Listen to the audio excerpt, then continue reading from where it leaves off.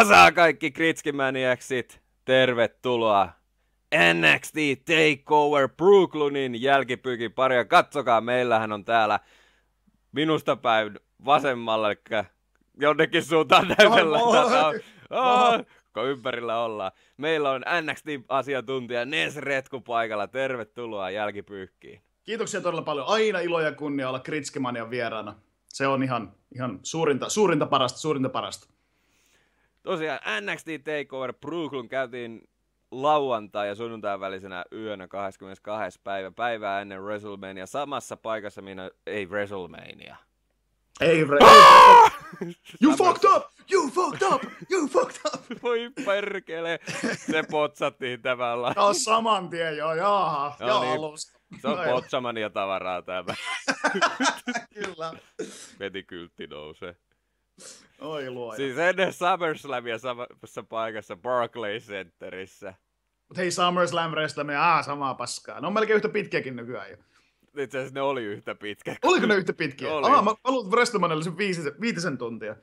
Herra Joo, ne oli yhtä pitkät nyt tällä kertaa. No, no niin. Mutta tosiaan Barclays Center ja täysi tupa paikalla, sold out tupa. Mennyt Kyllä. aika nopeasti, Triple H siitä twiittaili pitkin kun sinne tuli tieto, että täältä liput, niin ne ei, niitä ei kovin kauan ollut niitä lippuja jäljellä. Mä en yhtään ihmettele, koska siis NXTstä puhuu muutkin kuin vaan me, me kaksi. Et siis NXT on aika moni ihminen, joka VVtä katsoo, ja jolla on networkki, niin sanoo, että NXT on se ykkösohjelma. Ja siis mä en yhtään ihmettele, että ihmisiä kiinnostaa, ne haluaa nähdä uusia kasvoja, ne haluaa nähdä, että millaisia tyyppejä on tulossa, ja kun ottaa huomioon sen nykyisen rosterin, mikä on ihan helvet jällistyttävä, että siellä on niinku mm. niinku Samoa Joe ja ja, no Kevin Owens tai nykyään aika enemmän päärosteria. No, se mutta... on enemmän jo päärosterissa, mutta tässä kohtaa vielä niin kuin myöskin NXT-rosterissa. Kyllä, ja siis sehän on, se on ihan hullu se kattaus. Ja kun ne kuitenkin se, se konsepti on ollut sitä, että no aina siellä Full Sail University, siellä sai Floridassa vai missä ne ikinä mm. aina NXT kuvaa, niin monella ihmisellä ei välttämättä ole sitä mahdollista, että ne ei, ne ei pääse lentää sinne.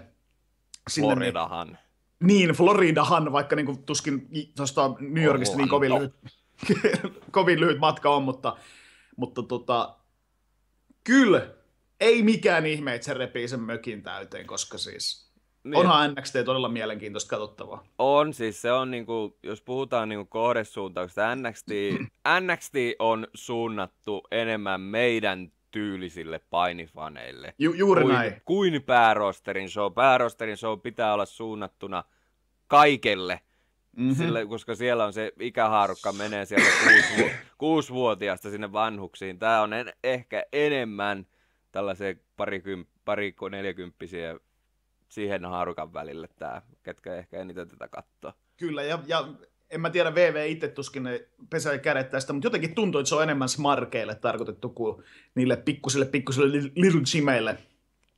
Niin Onhan tota, tämä enemmän siis Joo, sen takia tuntuu... tuntuu enemmän itselle omalta, ehkä siitä syystä. Joo, siis, se, siis mulla on myös sellainen niin kuin, tunne, niin kuin, että, on, että tämä olisi niin kuin, mä en muista, onko Triple H itse tämän haastattelussa sanonut, että meneekö ihan sanatarkasti, että tämä olisi enemmän hänen visiota siitä, millainen WWEin indie show tulisi tai olisi. Aivan, aivan. Ja se on kyllä helvetin onnistunut. Ja mun täytyy myöntää, että mua aluksi vähän pelotti, kun mä kuulin, että kuinka isossa mökissä se tulee olemaan ja kuinka se on sold out ja kaikkea, niin kun mulle NXT on aina just ollut sitä niin kuin että ollaan siellä pienessä ja todella todella tunnelmallisessa ja tiiviissä äh, paikassa. Mm.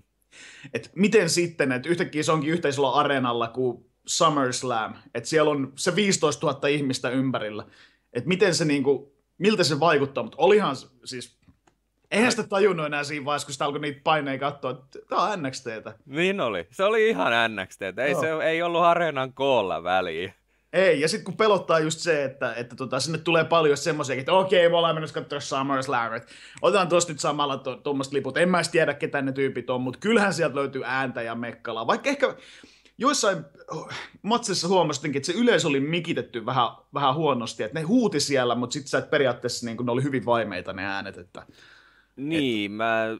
Siinä oli esimerkiksi muutama sellainen ottelu ehkä, minne tota, justin, no tietysti tämä, että siinä oli tuli uutta painia ja tällä, niin ehkä yleensä oli vähän, että kukahan tämä on ja tällä lailla, mutta kyllähän sitten siellä välillä tuli sitten sitä ääntä aivan helvetisti. Kyllä, kyllä. Mutta sekin, sekin taas, että oliko se, kun siinä vähän niin kuin se ääni tuntui skaalailevan muutenkin, että oliko se sitten ihan tuotannollista hommaa, että, että aina yleisö ei ollut ihan niin, jotenkin, jotenkin se tuntui, että, että niin kuin, toki siellä oli se Tai, tai Dillinger ja, ja tämän... Apollo. Mikä? Apollo, niin tota, se, se matsi nyt varmaan oli muuten vähän sellainen, että jengi ei ollut ihan niin mukana siinä, koska tosiaan vähän semmoisia niin no-nameimpia jätkiä. Toki tämä Apollo on uusi kaveri, mutta tota, mm, mm. Mutta kyllä jossakin, niin kuin esimerkiksi tämä Tikas-matsi, niin musta tuntuu, että jengi oli ihan vitun pähkinönä, mutta välillä vaan niin kuin tuntui siltä, että siellä on mökki ihan hiljaisena. No niin se tuntui mustakin, että vähän, mutta en yhtään ihmettele, että välillä oli vähän hiljaisempaa, kun miettii millainen ottelu ennen sitä käytiin. No joo, joo, siis kyllä. Ei, ei puhuta siitä se enempää, mutta olihan se nyt ehkä, jos puhutaan SummerSlamin ja NXTn tota, matsesta, niin olihan se ehkä kovin matsi, mitä... Niin koko mitä. Niin koko viikonloppuna käytiin, että se oli ihan huikea. Se oli ihan huikea.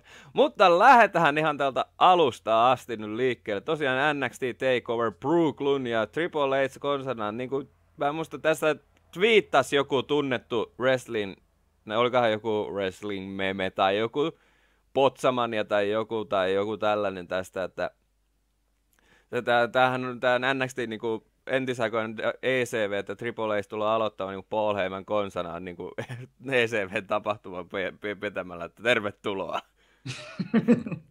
Okei. Okay. Mun pitäisi enemmän, enemmän seurailla noita Twitterissä, mutta mulla on aina se spoileripeli, kun mä en aina katso livenä.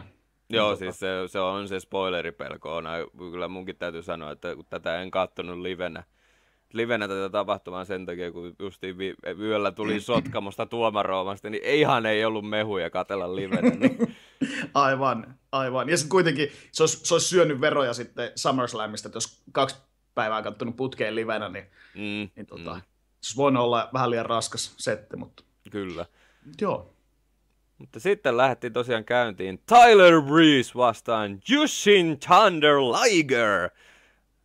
Täytyy... Oli, oli, olihan siinä, olihan siinä. Olihan siinä. Tota, kuinka hyvin sä tunnet Jus, ja, Jushin Thunder Ligeria? Mä oon semmosia irtomatseja kattonut sieltä täältä. Silloin kun mä olin niinku yli kymmenen vuotta sitten ihan älytön showpainifani, että mä katsoin aivan kaiken, mitä vaan irti sain, niin puroresuakin kyllä. Ja, ja tota, Jushin ehdottomasti yksi niitä, mistä, mistä diggaili silloin, niin olihan se mukava nähdä. Toki se olisi ehkä kymmenen vuotta sitten ollut niin kuin, äh, Eikö paljon, 50, paljon... Joku 50. Se on jo van, vanha äijä, vanha äijä. Niin tota, kymmenen vuotta sitten olisi ollut ihan hemmetin siis nähdä niin VV-debyytti. Silloin olisi ollut varmaan pikkasen paremmassa kondiksessa, mutta kyllähän sieltä hienosti lähti vielä niitä sen tota, omanlaisia, omilaisia tota, näitä signature, kaikkia submission-liikkeitä ja näitä, niin olihan se hieno nähdä semmoista kunnon, kun monesti just on sitä, että aletaan rakentamaan sitä, niin vastustaja vähän niin kuin syöttää ne kädet, niin se, just se perus, että lyö tänne kylkeet, vastustaja laittaa käden sinne, sit nappaa sen käden. Niin siinä, ne pienet jutut, mikä on just monelta painijalta niin kuin se on vähän sellaista, että, että ne jää tekemättä. No ne pienet jutut, mitkä itse ainakin sille, kun oi vau, toi hieno, toi hieno. Ihana teknistä painia. Kyllä, smäkki sinne kylkeen, toinen yrittää sitä vähän estää, niin sitten napataan se käsi siitä toiseen kylkeen, sitten toinen käsi, ja sitten nostaa se kaveri sinne ylös, niin on ne hienoja. On ne hienoja, surfilautoja. Kyllä, kyllä, vanhat kun on surfilaudat, niin niin, tota, Japanilaiset Japani, kyllä. Ja siis niin kuin, matsihan oli aika lyhyt. Mitähän sillä oli kesto? Alle 10 minuuttia. Alle 10 minuuttia se oli mun mielestä, mutta tota, siis täytyy sanoa, että se oli erittäin hyvä valinta openeriksi. Oli, siis aivan täydellinen. Aivan täydellinen. Siinä oli, siinä oli spottia ja, ja tota, siinä oli niinku huomattu, sitä niinku sen, tähän ollut Tyler Breezelle muuta kuin kunnianosoitusta saa painia. Niin tota... siis mun mielestä vaikka siinä on ta, tosiaan Tyler te tiesi, että se tulee tänne häviämään, niin tää, mutta onhan siis iso juttu Breezelle päästä tällaisen legendan kanssa painimaan. Ehdottomasti. Ja mua alkoi ärsyttää, että kun selostat oli koko ajan, että kuvitelkaa mikä, mikä pomppu se olisi, kun Tyler Breeze nyt voitti. Silleen, ei se voita. Että tuommoinen legenda ei tule Japanista jenkkeen häviämään Tyler Breezelle. Joo, Vince, Triple H teki soita mulle. Tuu tänne häviämään tota meidän... Tuliko sä, tulisit sä jobbaamaan sun VV-debyyttiset niinku? Todennäköisesti viimeinen matsi, minkä tuut ikinä täällä vetää, niin hei, tuut sä jobbaa sen tällaisen Tyler Breezelle. Joo, joo. Aina vaan pänäkkää tulemaan. Arigato, arigato, arigato. Kyllä, mutta joo, siis vauhdikas vauhdikas ihan, ihan mahtava ottelu.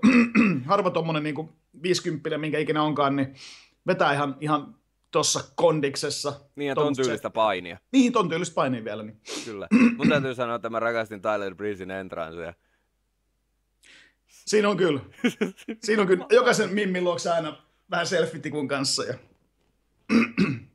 se on kyllä. Se on kyllä niinku kunnon mulkku saakeli. Tällainen kun tulisi kadulla vastaan, niin kyllä siinä varmaan rupesi kiehumaan. Kyllä se tuommoinen semi-duckface, siis niinku jotain yhtä hiuskarvaa korjailee. No, se on kyllä. Siinä on, siinä on hieno hiili, millä olisi, millä olisi paljon potentiaalia, koska tuommoista niinku dandy-jäbät just, niin nehän kerää hemmetisti hiittiin sillä, että niinku, mä oon komea ja te ootte, te ootte rumia. Te ootte rumia ja mä oon Kyllä. mä vien teidän naiset. Kyllä. Ja... Kyllä. Mä oon, mä oon se, mulla on supermodel kick ja kaikki ma- mahdolliset. Niin. Beauty shot. Ai. Ei money shot, vaan beauty shot. Mut eh, nykyään, jos olisi painia, millä olisi niin sanottu porn, pornstar-kimmikki, niin money shot nimeä ei ikinä sanottaisi ääneen. Ei, no, ei. varmaan sanottaisi. se olisi, se olisi niinku sellainen... Joo, joo. Keksitään sulle joku parempi nimi, se, se ei ole money shot, se sun splashes. Kyllä. Mutta hienoa, että saatiin nämä Jushin Thunder Liger WWEissä. Oikeastaan eikö se WCWssä se ainakin kävi ottelemassa aikoinaan. Ah, okei. Okay. Jos en... mä nyt oikein muistan.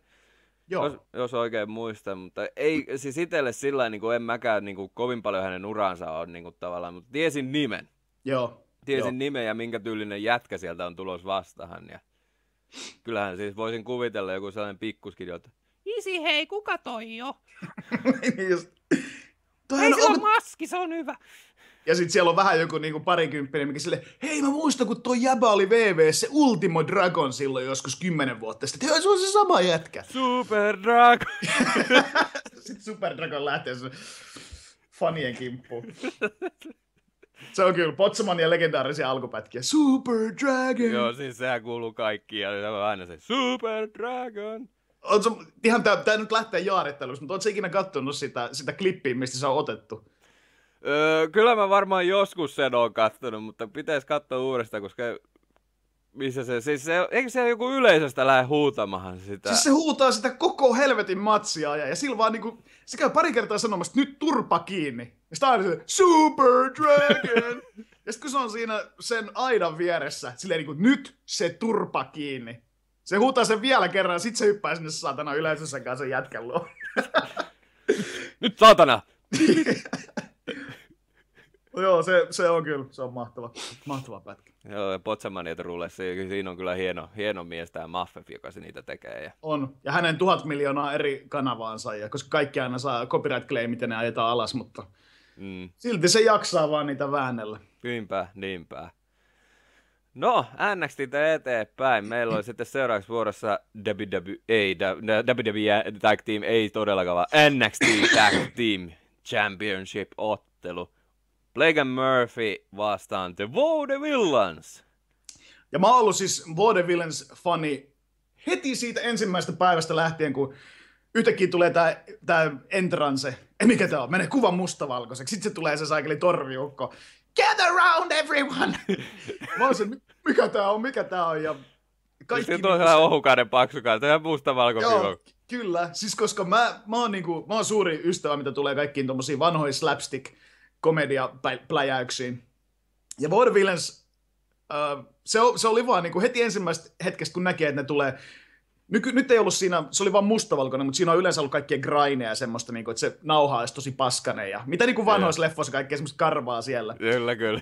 Nyt ei ollut sitä, se oli valitettavasti jäänyt pois, mutta siis mä tykkään niiden ää, tota, sisääntulosta yli kaikkea. Muutenkin niiden tyylistä, kun niillä on vähän semmoinen, tämä Simon Guts, tämä, milloin ne kunnon viiksi. Joo, sellainen se... vähän ranskis näköinen tyyppi. Juu, juu, niin tota, kun se on just semmoinen niin kuin, entisvaikojen sirkuksen semmoinen voimamies. Se on just sama ne kaikki ne se poset ja tämmöiset. Niin se on ihan vitun kova. Mä en muista Vaikka... kumpi se jä, niistä jätkistä. Se näyttää ihan tuolta, tuolta, tuolta Basililta tästä Pitkä Jussin majatalosta.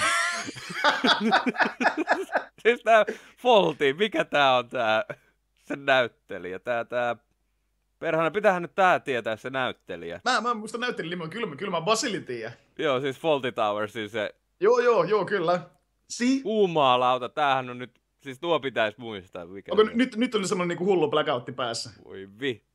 Mutta kuitenkin te tiedätte, että jos te tiedätte Faulty Towersin ja Basil Faultin ja... John Cleese! John Cleese, kyllä! John Cleese, piti John vähän aikaa kaivella. Siis se toinen jäpistä näyttää ihan John Cleeseiltä. Oi luoja. John Cleese, VV-kehässä. kyllä.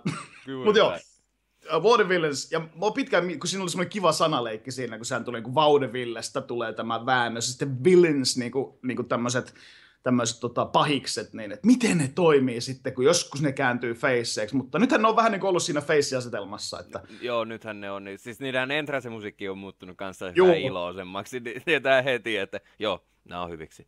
koska niillä oli pitkään se, että ne oli synkattu se niiden homma, kun se soi ensin din, din, din, din, din, din, din, semmoinen hieno baari. Sitten lähti. Niin, nyt se on semmoista niinku hilpeät settiä, kun ne kävelee sitä tota, ramppia alas. Niin. Kyllä. Kyllä se toimii, kyllä se toimii. Ja mä oon tosiaan ollut fani ihan alusta asti. Ja mä twiittasin öö, VVN Eurosoppi, että koska Vaudevillens T-paitoja sinne myyntiin eivät ikinä vastanneet, en ole katsonut, onko niitä tullut sinne, mutta mä ehdottomasti haluaisin itselleni Vaudevillens T-paidan. On ollut kyllä iso, iso fani, ihan niin kuin sieltä alusta asti, kun ekan kerran näin. Niin mun mielestä just tällaiset kimmikit toimii tag team divaris. Kyllä, Näin kyllä. välttämättä singles kimmikkäinä toi, mutta tag team divaris tää toimii loistavasti. Että on, siellä on vähän tällaista, niin kuin, että ei ole niin harmaata, vaan sinne on vähän laitettu väriä ja vähän kaikkea tällaista. Toisaalta mä tykkään myös tämmöistä Blake and Murphyistä, mitkä on vähän niin kuin Edge ja Christian, että et ne on niin semmoisia perusjätkiä, mm. mitkä toimii helvetin, helvetin hyvin yhdessä, mitkä näyttää niin kuin vähän samoilta. Mutta sitten kyllä se, niin kuin se paras tag-tiimi on ehdottomasti semmoinen gimmiköity Dudley Boysi, Hardy äh, Boys. Hardy Boysi, äh, APA, Kyllä. Bradshaw ja Farouk. Et, et ne, ne, on vähän niin kuin, niillä on jotakin siinä, siinä taustalla. Niin Vaudevillens- Outlawsit, kaikki täällä, kyllä. Juu, kyllä, niin tota, kyllä se, se semmoinen ehdottomasti on se, niin kuin se kaikista kovin. Mikä tuo tosiaan sitä särmää ja makua sinne täktivareihin. Ettei kaikki ole vaan niitä semmoisia uikkaripoikia, vaikka loppupeleissä ne on uikkaripoikia, mm. mutta kun niillä on se pien joku siinä, niin se on Niinpä. aina siellä, siellä Kyllä. taustalla. Kyllä. Ja mun täytyy sanoa Alexa Blissistä, että siitä on kuoriutumassa aika kova promottaja. On, on, ja siis muutenkin kun ottaa huomioon, että se oli semmoinen kiltti naapurin tyttö feissinä, ja mikä, mikä domina se nykyään on noiden jätkien kanssa, niin Mä voin kuvitella siellä, kun tää Blissi vetää jollakin ruoskaa ja no, no niin, sitten jätkät. Nyt nousee se rauta, siellä se Blissi vetelee. Haluaisin vain olla Alexa Blissin dominoitavana. Se olisi ihanaa. Se olisi sellainen niin kuin unelma. Unel, unelma jobi, niin Kyllä, voisinpa maksaa siitä. Ei vaan, nyt menee jo prostituoinnin puolelle pikkuinen. Mutta tota niin, niin en olisi, en, en tajunnut aluksi Vaudevillaisin housuista, että kuka siinä tuli En- niiden... A, mutta sitten kun mä tajusin, kuka siellä lähti, tuli se entras, että... Niin sitten mä rupesin, housut. Tämähän on ihan selvä kuvio. Ei, kyllä, kyllä se, ei mullakaan, ei mullakaan lyönyt kelloa siinä, että toki mä en ole siis, me juteltiin tuossa ennen kuin oltiin nauhoittaa, niin mulla on ollut taas vähän tämmönen niinku, en ole kovin montaa NXTn tota, näitä yksittäisiä viikoittaisia ohjelmia katsonut tässä kesäaikana, että oikeastaan noita takeovereita randomista sieltä täältä, niin mulla ei ollut edes mitään niinku tämmöistä tietoa, että, että niillä olisi ollut joku nainen hakusessa tai, tai niinku tota vastaan, kun Alexa Bliss siinä promotteli, että ei teillä ole mitään naista, että et ole mitään löytänyt. Joo, siis siinä oli tosiaan sellainen kuvio taustalla, että ö, Vaudevillanssit hävisivät, hävisivät ensimmäisen mestaruusshottinsa sen takia, kun Alexa Blissi, Alexa Blissi siinä sitten häiritti. Ja William Regal, meidän man, Rautanyrkki! kyllä, Iron Fist, niin, niin kertoi Vaudevillans, että nyt teidän pitää tehdä jotakin asialle. Että, Okei, okay, siinä oli niinku tommonen, tommonen rakenneltuna. joo. Ja Mutta sitten siis sieltä- sopiiko kuinka täydellisesti Blue Pants noihin kahteen tommoseen vähän randomimpaan jätkään?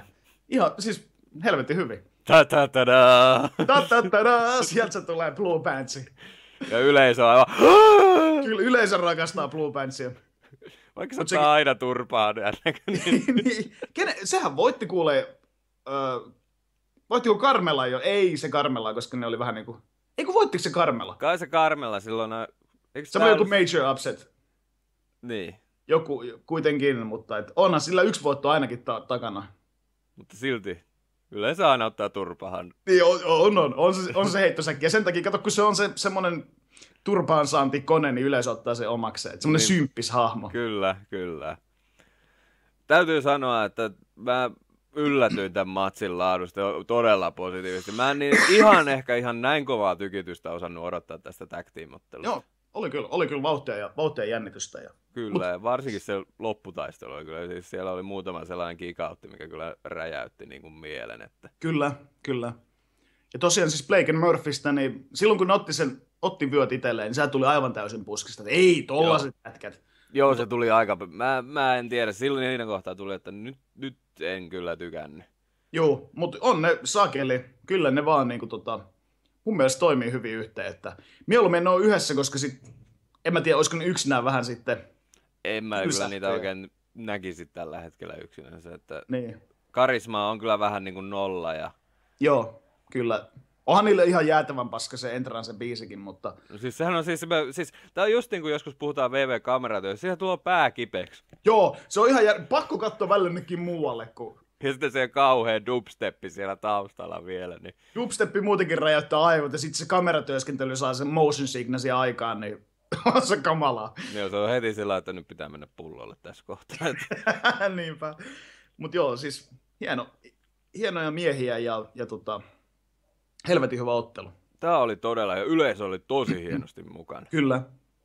Ja tätä jo niinku sieltä Lucha Dragonsella, kun oli vyöt, ja Vaudevillensillä oli niitä vastaan jossain takeoverissa matsia. Niillä oli niitä helvetin siistejä promoja, mitkä oli vähän semmosia niinku mustavalkois slapstick-tyyli, että ne, ne pienikokoiset miehet oli mukaan niitä ne käypöt oli niitä tota, Lucha Dragoneita, ja niille ne teki aina jotain jekkoa. Nehän oli ihan niinku siis superkultaisia. Niin olikin, mä, ne oli tosi hyvin toteutettuja.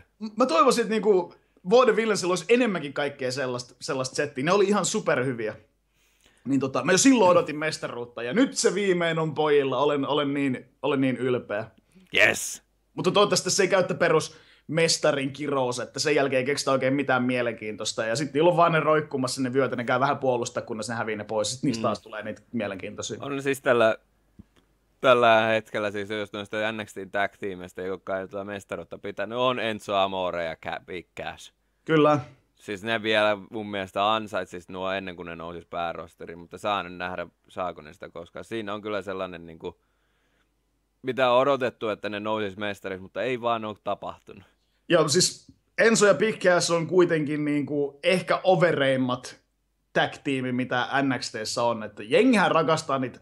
Enso Moro on muutenkin vitun karismaattinen äijä. Sillä on hullusti catchphraseja ja kaikkea. Kyllä, siis se osaa sen aivan loistavasti. Ja sitten Big Cass on se se on se Billy Gunny nyt. Ja no, nimen, nimenomaan, se on se seven feet tall and you can't teach that. Ja, mm. ja tota, onhan sekin kehittynyt mikissä paljon. Sanotaan, että oh. vuosi sitten niin pikkiä, aina kun mikissä, että ei, älä. älä. Mutta, mutta pakkohan siis, tähän tässä onkin hieno NXT just, että täällä sitä opitaan. Täällä sitä opitaan, kyllä, kyllä. Siperia opettaa, niin kuin ne sanoo. Elämämme koulu. Mm. Se on sitä, se on sitä. Että on kehittynyt tosi paljon ja ja onhan se helvetin vaikea tilanne, että sulla on niinku kultasin äijä sun rinnalla, mikä, mikä hoitaa mikrofonihommat niinku tosta vaan, ja ihan mitä se sanoo, niistä tulee catchphraseja.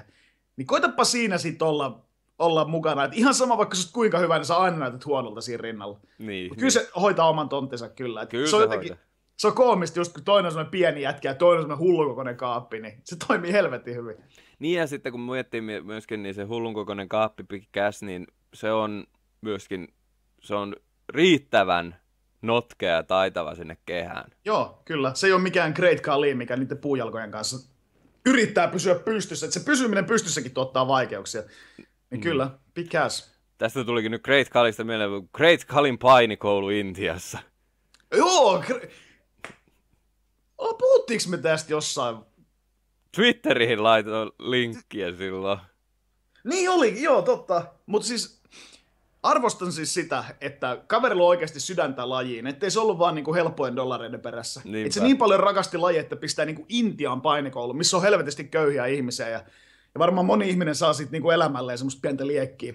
Kyllä. Että hei, tää on tää niinku VVn iso stara. En toki ikinä haluaisi olla Great Kali opetettavana, että niinku Great Kali olisi mun mentori, ja sitten kun mä menisin painimaan, hei, kuka on kouluttanut? Uh, Great Kali! Mutta hän nauretta, sulla olisi ihan mistä tahansa painista. Kyllä siinä kohtaa jo. Ulos! Itse tuli semmoista tönkköä jalkojen kanssa. Jaa, sut on vissiin Kali kouluttanut. niin, no, mistä tiesit? Mut onhan, se, onhan se siisti, onhan se siisti homma. Että, Niinpä. Siis se, Ajun purassu. Koska se kuitenkin otettiin niinku jostain luumurskaa leffan kuvauksesta. Vince näkee, että toi äijä jumalauta, toi on iso Susta tehdään painia. Susta tehdään painia. Heti laitet Undertakerin nippu. niin, just niin. Onhan se, onhan se vähän niin kuin kyseenalainen homma, mutta, mutta Intiassa on isot markkinat, niin sehän Siellä oli se Intian se, vetona. Siinä mä mietin, mietinkin, että VVL olisi kyllä erittäin tärkeää saada joku tollainen intialainen tai aasialainen iso nimi tonne. Kyllä. Tai niin kuin tehdä joku iso nimi. Kyllä, kyllä. Mutta valitettavasti se ei vaan, että jos, jos niinku karisma on pyöreä nolla ja, ja taidot on myös pyöreä nolla, niin ei ne pe- se pelkkä koko takaa sitä, että, että susta tulee niinku sekä Intian rakastama että koko maailma. Ehkä se on Intian rakastama, mutta Kyllä koko se maailma. Se on se, se on se nallekarhu, joka voitti WWE World Heavyweight Championshipinkin. Ja... Mikä osaa mitään muuta kuin tätä? Oh! Oh! Osasi ottaa kurkusta kiinni ja heittää maahankin. Niin, niin joo. Osa sen tehdä, kyllä. Muuta se ei oikein osaakaan. No Myyminen on aika, aika onnetonta. Niin. Aina joku, joku isompi mies kun heittää, niin aina tulee kyljelleen. Sidepump, vähän niin kuin Rick Flair, joka suojelee omaa selkärankaa, niin aina kyljelleen alas. Tai niin kuin nykyään Big Showkin, joka tulee aika usein kyljelle noissa kaikissa liikkeissä, niin, kun tulee maahan. Joo, niin taitaa tulla. Jotenkin tuntuu, että Big Show kokoisella äijälle se on vaarallisempaa tulla kyljelle. Että... Niin kuin mä Sinä... mietin, että eikö se ole isompi pinta-ala ottaa kuitenkin vastaan, niin kuin jos tulisi täysin selälleensä. En tiedä.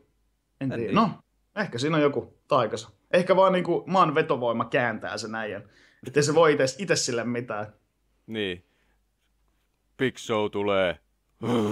Se, se sama vetovoima laittaa sen käden eteen aina kun tulee lyöntiä. Niin, niin se käsi lähtee kato ylähäpäin. Niin... Joo. Morjesta vaan taas. On Big Show tässä moro. Mistä me päädyttiin Big Showhun? Niin me puhuttiin tota Ensosta ja Käsestä ja sit Joo. No, siitä... Tag-tiimistä lähti vähän rönsyilemään. Kyllä, mutta hyvä, hyvä tag ottelu tästä mä mm-hmm. dikkasin todella paljon, yllätti positiivisesti. Oli vähän sellainen, kun ei Blake Murphy on vähän sellainen, niin kuin, siis ihan perus hyvä tag mutta ei siinä niin kuin, karismaahan sieltä ei paljon. Että just se, että miten tämä tarina tässä ottelussa etenee. Tähän onnistui loistavasti. Joo, kyllä. Hyvä ottelu. Hyvä Oli. Ottelu. Ja feel good momentti, Vaudevillanssit. Uudet Todellakin. NXT tag team mestarit. Todellakin. Hieno homma. Kyllä. Ja sitten seuraava matsi olikin sitten vähän tällainen, oliko tämä nyt Apollo Cruisin debyytti sitten?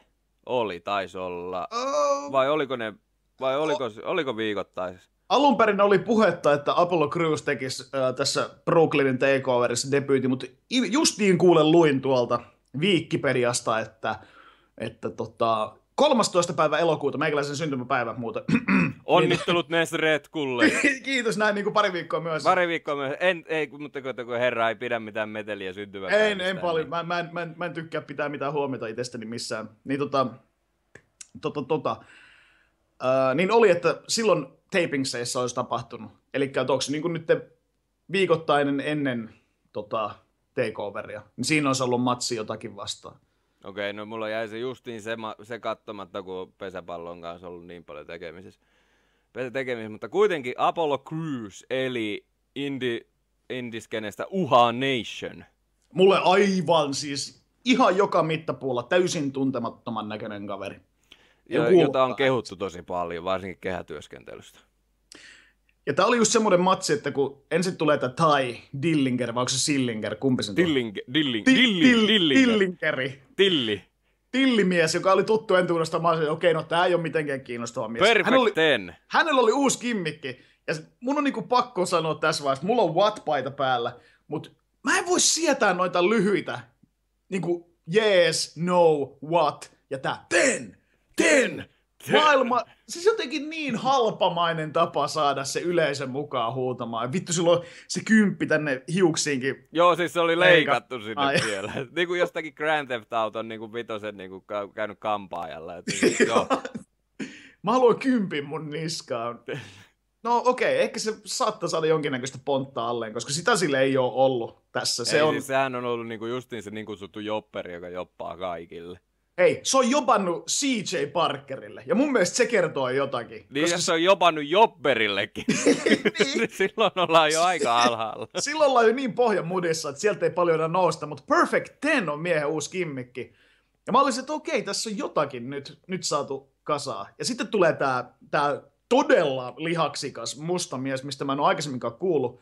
Ja se on niinku silleen, look at all that peoples! Look at all that peoples! Joo, just niin sellainen.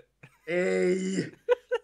Mut kun mies pääsee vauhtiin, niin tiedätkö, meikäläiset karisee niinku kaikki epäilys ikinä siitä miehestä. Siis mitä vittua? Joo, siis mun täytyy sanoa, että mä en ole paljon herran otteita nähnyt. Mä oon tältä Smarksideista ja Wrestling Alertista kuullut miehestä, että tää, tää on joku, tää on todella hyvä.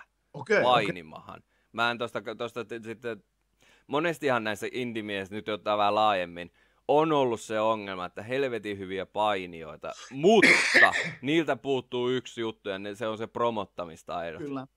Tai se sellainen tietynlainen karisma, jota niin kuin moni joutuu harjoittelemaan. No, niin kuin Daniel Bryan. Esimerkiksi. Ja se kyllä ihan... täytyy sanoa, että Finn Balorkin tarvitsee vielä harjoitusta esimerkiksi. Tar- tarvii todella paljon. Et niin, mut se on mahdollista. Daniel Bryan oli ihan villasukka.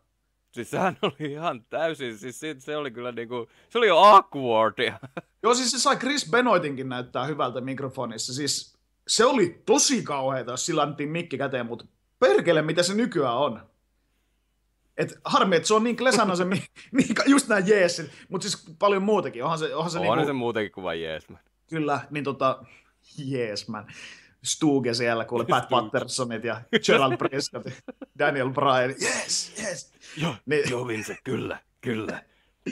Mutta niin kuin, siis harmi, että mies on niin klesana, että painitaidothan Daniel Bryanilla niin kuin, ne on kultaiset. No, no se on se 10 kautta 10, jos Kyllä, puhuu. ja nyt se on kehittynyt tosi paljon mikissäkin, niin tota, onhan niin kuin tämmöisellä just niin kuin Finn Baloreilla ja näillä, onhan niillä, tota, onhan niillä, uh, Niillä on, niillä on sitä pilkettä siellä silmäkulmasta, se on mahdollista. Mm. Koska niin kuin, Finki on vissiin aika paljon Japanissa otellut. Onhan siis se otellut jopa hyviä matseja se on otellut. Ja senhän juttu on nämä, kas, nämä bodypaintingit. Niin. Mutta kyllä siis se Finn Balorin, jos nyt otetaan nyt yleisesti isompia indinimeä, niin kyllähän tästä näkee esimerkiksi, että minkä takia Kevin Owens nousi niin nopea. Se osaa puhua. Kyllä. Mutta mut tässä on just tämä, että Kevin Owenskin on ollut rohissa ja, ja se on ollut TNAssa ja niissä puhutaan. Mutta oppa jossain Japanissa tuolla puroresu vetelet, niin ei siellä juurikaan promotella. No Et ei se saata, niin. Se saattaa ennen matsi olla silleen niin kuin, hei tänne, että moro, että nyt saat turpaa. Mutta ei tuommoinen niin länsimalli siellä vaan niin kulje mikrofoni kädessä ja puhu paskaa. Et se on Japanilaiset se siinä kohtaa, että Juu, se, et mitä tämä on? Et ei, me halutaan nähdä tällaista. Me halutaan nähdä sitä, niin kuin, sitä meidän uskontoa, puroresua. Niin. Niin tota, se on se, että Fino on aika paljon kolunut niitä mestoja. Se on saanut sieltä todella paljon painitaitoa ja, ja kaikkea muuta, muuta inspiraatio, innovaatiota itselleen. Nyt kun se on VVssä, nyt on aika, niin kuin silloin jo se, se on täysin valmis paketti, mitä sillä kehätyöskentelyssä on. Oo, siis sehän on täysin valmis paketti päärosterin, mutta mutta ei Kyllä. mikin puolesta. Niin, nimenomaan. Niin sen takia nyt mahdollisimman paljon vaan mikkiaikaa ja antaa sen kaverin työskennellä sitä promoa, ja siitä mm. tulee ihan vitun kova, vitun kova setti päädosteri joku päivä. Kyllä. Mutta nyt tuohon Apollo Crews tai Dillingeriin, niin tämä oli siinä mielessä erikoinen sinänsä tämä niinku Cruisin niinku ottelu. No, mä olisin kuvitellut, että tämä on squashi sinänsä, että koska se yritetään saada uusi tällainen lihaksikas, helkkarin atleettinen kaveri niin kuin heti overiksi, mutta sen takia, kun täällä on nyt tämä Tenne, mm-hmm. uusi kimmikki Dillingerillä, niin sitten sekin piti tavallaan, että ei sitäkään nyt heti voi niin kuin pyyhkiä lattiaa, että ei se Kyllä. menetä uskottavuus. Niin sinänsä niin kuin mielenkiintoinen paritus tähän kohtaan, koska tässä oli, tämä ei ehkä ollut ihan sellainen win-win situation tämä matsi. Ei, ei niin kuin missään nimessä paperilla näytä siltä, että niin kuin paperilla just näyttää siltä, että tota, tämä on ihan tyylipuhdas pyyhkäisy, mutta tosiaan kun Dillingerillä oli uusi gimmikki, niin se vähän muutti sitä asiaa. Kuten Kyllä. sanoit, että ei sitä vaan voida niin kuin pestä, pestä lattialla, koska se pohja menee täysin siltä gimmikiltä. Että se voi olla enää vittu täydellinen kymppi. sen niin. jälkeen, että sut squassataan kahdessa minuutissa. Sen takia justiin mä olisin niin kuin, tavallaan tässä tämä ottelu olisi ollut, jos tämä olisi pitänyt jollakin feudilla. Niin. Koska sitten tässä olisi niin kuin ollut se, nyt oli vähän sellainen, jäi sellainen ikävä sivumaku sinänsä, että onko, on mitä tuosta Dillingeristä nyt kun Perfect niin otti nyt turpahan kuitenkin ja mutta kyllähän Perfect Ten sai siinä aikaiseksi, että... Niin se saikin, se... se...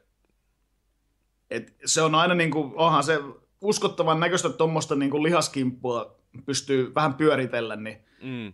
onhan se tietenkin. Ja eihän se nyt, jos, jos me nyt jotain takeoveria, mikä on niinku se isompi juttu, ja tämä on niinku isoin, mitä NXT on ikinä järjestänyt. No siis 15 tonnia, niin...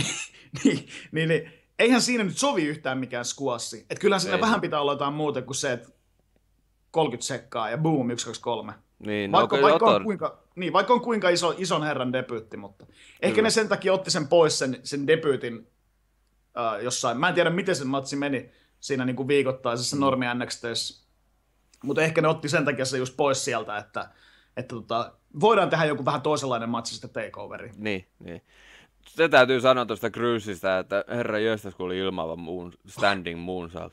Jumalauta. se on semmoinen, se hyppää niinku ilmaan ja sitten se nopeasti siellä ilmassa kierrättää ympäri ja tippuu alas. Siis se oli aivan uskomaton.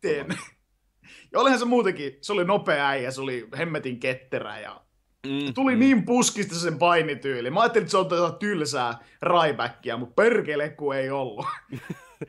se olikin vähän enemmän kuin raibacki. oli pikkusen enemmän kuin raibacki. Mä olin heti se, hetkinen, toimies toi meni mun isolle listalle nyt saman tien, että tätä jätkää aletaan kattelemaan. Sillä oli muuten helvet, mun mielestä erittäin hyvä entrance-biisi sille tällä cruisilla. Mulla meni täysin ohi, kun mä keskityin vaan, mitä se hölöttää siinä. Oh, siellä on Yle. Look at all their people! Mut siis sellainen vähän tällainen, tiedätkö sellainen räppimäinen. Joo, joo, okei. Okay. Meni ihan, ihan täysin ohi. En muista yhtään. Sitten se just sitä omaa logoansa siinä lattialla. that's me! That's me! Sivas vaan silleen, että ei vittu, viekää tuo äijä pois. Ei saatana. Soittakaa lanssis. just, nyt ihan oikeesti. Mitä teillä on päässä? Miksi te pääsitte tollasen äijän tänne? Ja sit that's se, me! Sit se kuittaa ne kaikki silleen. Mutta se on, se, se on todennäköisesti sen persoonallisuus, että se on sellainen hölöttäjä, että hei, that's me! Niin, voisi kuvitella nyt sitten, että tuo on tällainen, tavallaan, tiedätkö, tulee sellainen heti sellainen tietynlainen ennakko-oletus, että tumma mm. mies sellainen hölöttäjä. Joo, joo, joo. Okei, okay, tää on New Dayssä niinku kolmen kuukauden päästä, mutta jumalauta, sehän, sehän oli, se yllätti niin, kuin niin positiivisesti lopulta. Että. Kyllä, ja mielenkiinnolla odotetaan, mitä Apollo Cruiselle tapahtuu tapahtuu tulevaisuudessa. Kyllä, ehdottomasti. Pakko sanoa tästä, että niin kuin asetelmat on toi, että Dillingeri, mikä on ollut hyvin, no se on ollut se villasukka nyt, mitä tässä on NX tätä katellut. Mm. Ja sitten tämmöinen äijä, mikä niin kuin hölöttää ja ihmettelee logo, hei, mun logo on tuossa lattialla. Mä olisin varmaan kelannut, jos taas ollut joku muu kuin NXT. Mä olisin varmaan alkanut skippailla ja mä olisin, mä olisin tosi paljon, mä olisin skipannut sen matsin. Koska siis kyllähän se, se kuittasi ihan täydellisesti sitten se homma. Tämä onkin siitä hieno paikka tämä NXT, että älä, älä skippaa mitään. Täällä, täällä ei niinku edes tulisi mieleen skipata naisten matseja, minkä mä tekisin niinku VVn puolella. Niin. Koska naisten matsitkin on niinku superkultaisia NXTssä. Kyllä, siinä on ihan oikeassa. Öö, jatketaan, me ollaan nyt tässä niinku puolivälin Crowissa takeoverin jälkipyykkiä ja sitten lähdetäänkin panoksia nostamaan nimittäin itse Samoan Joe vastaan. Baron Corbin.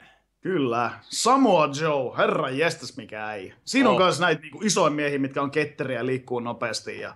Jota, jota odotettiin VV vaikka kuinka kauan, mutta ei silti vaan vielä sydän vei, että no kyllä se DNA vie vielä jotakin antaa. Ja moni mies, moni, moni mies hautasi jo haaveet, että Samoa Joe ei tule ikinä ole VVssä koska kyllähän silläkin on aika paljon ikää päällä. Että... Onhan se lähemmäs 40 Joo, tässä Mut, mutta tota, kyllä kun siis se tärähti ensimmäisen kerran ilmoille, että se on NXT, niin kyllä, vaikka en ole niinkään, niin hirveästi tiennyt katsonut, kyllä mä niin Samoa Joe tiedän ja Joo. kyllä se oli hieno hetki. Kyllä se oli hieno oli hetki. hieno hetki ja siis se, tyyd, se musiikki oli kyllä, Joo. se oli huono viime, siis se on pikkusen parantunut tuo Entraisen musiikki, se oli vähän sellainen Joo, Vähän liian, vähän liian hi- ilpeä. Mut, mut joo, kyllä siis, huho, kyllä se on, kyllä se on kova ei. On mut, se. Mut oli pahan paska ottelu. Siis tähän otteluun mun täytyy sanoa, että tämä oli nyt se Baron Corbin, niin kuts, kutsutaan aina niin sanotusti, otetaan nyt putous, näytön paikka. Mhm, näytön paikka. Ja siis mutta... mä oon nähnyt Baron Corbinilta satoja otteluja, noin nyt niin paljon, mutta ne on aina niitä, että se niinku, jengi laskee kymppiä ja se tekee se oman liikkeensä ja sit selätys. Ja kaksi, kaksi täys pitkää matsia, Bull Dempseyä vastaan, aivan vitun paska ottelu. Kyllä, joo, se, on, se ei, ei onnistunut. Ei, ei onnistunut. Ja silloin mä ajattelin, että okei, okei, että No. Silloinkin siis Baron Corbin näytti tosi huonolta, mutta Bull Dempsey oli vielä huonompi, ne potsaili liikkeitä ja, ja kaikkea mahdollista. Ja mä olin silleen, että oli pahan paskauttelu, mutta mulla oli vielä se usko Baron Corbini, että, että kun silloin, silloin se Lukes, ja sitten nyt kun tuli se promo, missä sille tehdään tatuointiin, missä kertoo sen taustaa, että hän, hän on niinku ollut NFLssä ja kaikkea tämmöistä. Mä olisin, että vittu, tää on kova äijä, mutta kyllä oli taas, siis Mä en tiedä, se on, se on niin, niin se on, vielä, se, on vielä, se on vielä niin vihreä kuitenkin uh, kehätyöskentelyssä. Siis aivan jäätävää katsoa sitä sen niin kuin, ring appearance, että välillä niin kuin, se on ihan väärässä kohti, sijoittelu on aivan outo ja välillä niin, kuin, niin avkvardia ne, mitä se tekee sieltä. Niin kuin, No tämähän nyt on just niin kuin mietitään Baron Corbin, sen gimmikki on aivan loistava nyt tällä on, hetkellä. On, siis on. sehän on justiin sellainen, niin että haistetaan kaiken, kaiken paskan niin kuin näille indistaroille, jotka on nyt noussut tuonne yhtäkkiä. Että ei, Siis tällainen gimmikki olisi Roman Reignsille aivan uskomaton päärosterin puolelle. Ollut, jos se mietitään, jos olisi vähän eri lailla tehty Roman Reigns ja WrestleManian aikoihin. Kyllä. Ja Mutta... Roman Reigns, jos niinku, se olisi vielä klaarnut sen ihan täydellisesti painikehässäkin se homma. Niin. Mutta tota, kyllä nyt täytyy mun mielestä tässä ottelussa nyt nähtiin edelleen se, että ei Corbin ole vielä läheskään valmis. Kyllä se niinku Samoa Joe kaltaisen äijän kanssa pitäisi pystyä vetämään paljonkin, paljonkin parempi matsi. Joo, siis, se, siis tässä, tässä ottelussa se justi, mitä Korpin hallitsi se ottelu, niin se, kyllä siinä kohtaa vähän oli sellainen flown katkaasu. Kyllä. En, en tykännyt siis siitä Korbinin hallintaosuuksista tässä, vaikka kuinka niin kuin, toivoo Baron Corbinille kaikkea hyvää, koska sillä olisi niin kuin, gimmikki ja luuksi ja kaikki mhm. kohdalla, mm-hmm. että niin kuin, tuo asennet niin kuin, noita, näitä indie-staroja kohtaan, niin jätti, jätti huonon kuvan tämä ottelu. Kyllä, mä alkoi just miettiä, että niinku, millä perusteella ne on sitten alkanut tekemään sille tuommoista squasher-tyylistä, koska jos niinku sit ei riitä taidot ylläpitää semmoista oikeaa ottelua, niin. niin ehkä se on vaan just täysin sen niinku luukseen takia. Niin, en, siis tämähän oli vähän nyt, jos puhutaan WWEstä ylipäätänsä, niin kuin puhutaan näistä, että on se, että yleisö ottaa suohiksi siklerit ja tällaiset, mm. ja sitten VV rupeaa pakkopushaamaan jotakin toista. Mm, niin, niin. Corbinihan on justiin kuuluu siihen pakkopushauskorihin. Kyllä, juu, ehdottomasti.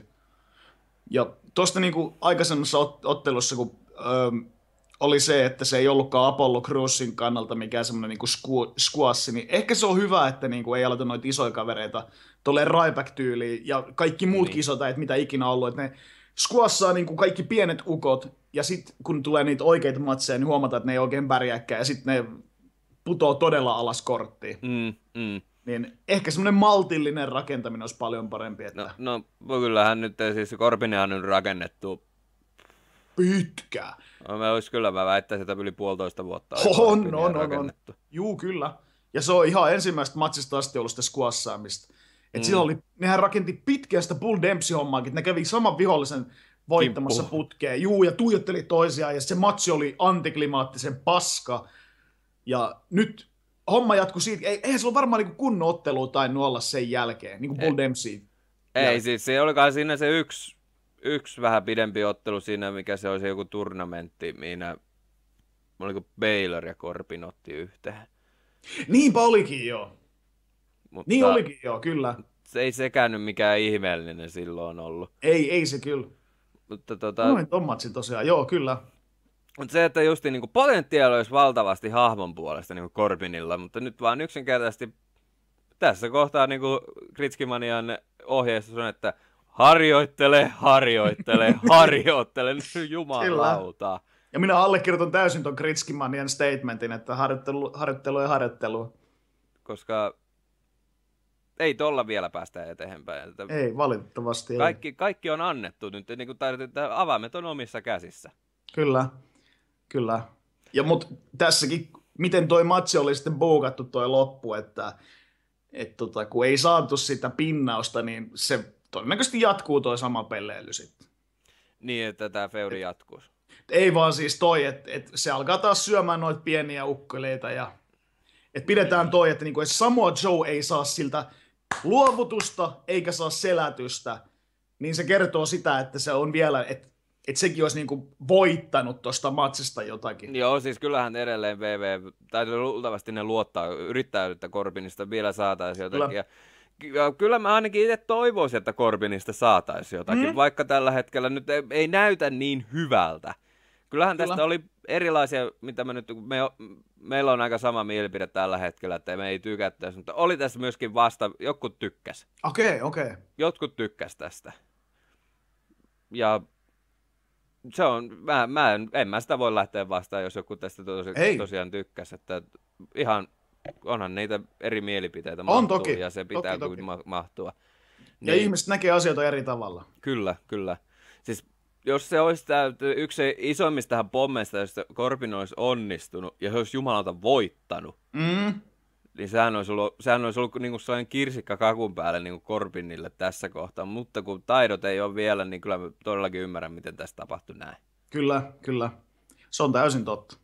Jos, jos niin kuin taidot olisi oikeasti pystynyt kantaa tuota ottelua paremmin ja, ja sen offensive driveit olisi ollut onnistuneempia ja näyttänyt paljon tiivimmiltä paketeilta, niin ja sit se olisi vielä ottanut sen hullun voito jostain legendaarista Samoa Joeista. Niin. Olisi se skyrokettanut ihan vitusti. Olis. Ka- kaikki ne squashit, niillä olisi ollut joku merkitys. Mm. Nyt se tuntuu siltä, että se on vaan niinku ollut se pahin koulukiusa, mikä on hakannut ykkösluokkalaisia. Ja sitten kun heti tulee niinku oma tasonsa tyyppi vastaan, niin sit tuleekin selkää ja ei näytä yhtään voimakkaalta kehässä. Niin, niin. Mutta tässä oli justiin nyt, että sinne performance centerihin Kyllä. harjoittelemahan. Mihin on muuten kadonnut se, että kun kaveri on tajuttomana, niin tuomari sitä löysää kättä niin nostaa ko- kolme kertaa. Mä en tiedä. Niin se on mihin... kadonnut. Niin onkin. Mäkin muistan näitä tapahtumia joo, ennemmin. Joo. Sitten se oli aina kun se, että se oli joo, ihan... kolmannella tipa... Kyllä.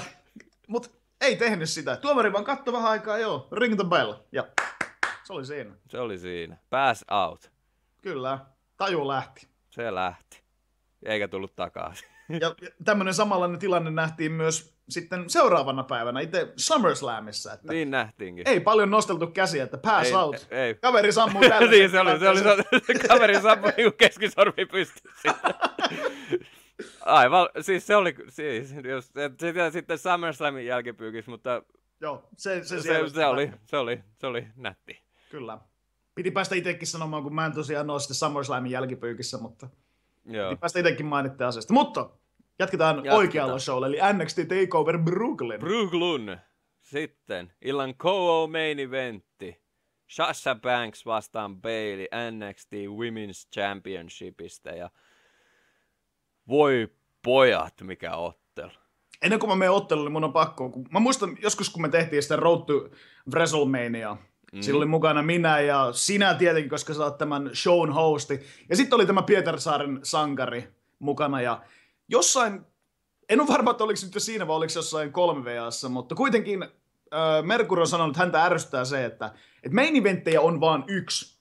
Kun jossain niin kuin, WrestleManiassa ollaan puhuttu, että siellä on niinku kaksi tai kolme vai neljäkin main eventtiä. Kyllä. Mä, mä itse kanssa samaa mieltä, että mua vituttaa se, että jos puhutaan niinku, kortti on kolmanneksi, kolmanneksi korkeammalla puhutaan main eventistä, niin vituttaa se, mutta tässähän nyt oli ihan eri keissi, koska nyt on kuitenkin puhe naisista ja miehistä ja ne on aina mm-hmm.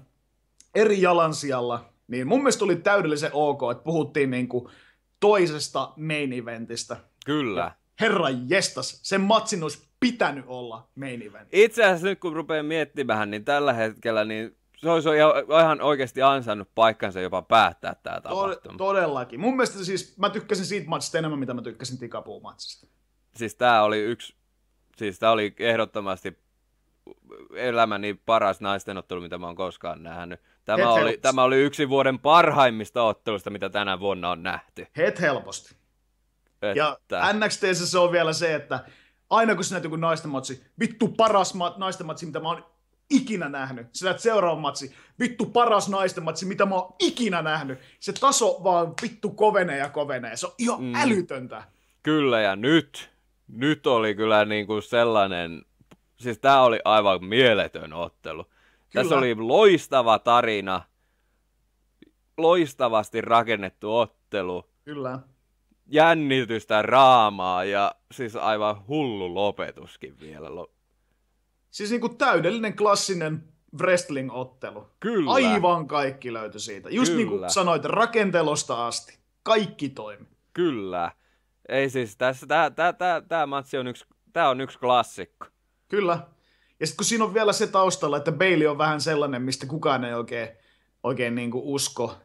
Niin. Se on semmoinen sympaattinen, sympaattinen, mukava likka, joka haluaisi olla, haluaisi olla täydellinen, haluaisi olla mestari, ja silloin äiti on aina mestaruusottelussa katsomassa, kun se häviää, ja niin, kuin, niin täydellinen underdog, mitä vaan voi olla. Niin Kyllä. Niin, jos oli aivan kaikki kohdillaan. Ja se on se Banks on se vittumainen hiili, kun on semmoinen bitch ämmä. Joo, joka, mä oon vähän Snoop Doggin tota, tota serkkuja. Kyllä. Vähän kyllä. legitti bossia, vähän hiluja täällä. Ja... Le- legitti bossi, kyllä. Ja kaikki nämä niin trash talkit kesken matsit, sä et ikinä tuu voittaa multa tätä vyötä. Ja seinä oli kyllä. Oli. Ja Siinä siis oli. mä rakastin myöskin tätä promovideota, mikä tuli ennen. Joo. Siinä puhuttiin näistä neljästä diivasta, joka revoluutaa. Kyllä. Yhtäkkiä sitten, kun se oli hyvä, kun se Bailey niinku feidasi. Joo, se pikkuhiljaa se häipy siitä, kun ne neljä naista oli pikkuhiljaa häipy, lopulta katosi kokonaan. Joo, siis se oli aivan loistava promovideo. Oli, oli, oli. Ihan vitu hyvä. Siinä oli. Mutta herra jästäs mikä ottelu. Huh. Oli tietysti mä, siis... siis aivan käsittämättömän upea ottelu. Ja yleisö oli niin mukana siinä. Oi mm. herra jästäs. Kyllä mun piti tässä, mun kaveri Valmeri pitäisikin sanoa, että Sassa Banks on, se on, se on jumalatar, terveisin valtsu. Terveiset lähti. no niin, Valmerille vaan terveisiä sinne. Kyllä. Sasa Banks on kyllä, siinä on kyllä. Mä, ja... mulla oli pitkään kesti, että, että mä, mä en kans siihen niin kuin naiseen uskonut. Ennen kuin, Charlotte oli vielä mestari, ja sitten silloin oli Charlotteen vastaan mestaruusottelu. Joo, niin ja. mä olin vähän silleen, että ei tommonen pikkunen tyttö, että eihän se näytä uskottavalta sitten mestarina, että voittaa semmoisen Amazonin naisen, mutta kyllä se Juman kautta, niin onhan Oli, siinäkin. On siinäkin, on siinäkin kyllä. kyllä niin kuin...